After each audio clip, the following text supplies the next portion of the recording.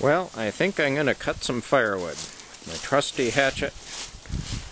Because I'm a Voyager. And I know exactly what to do here. Ready?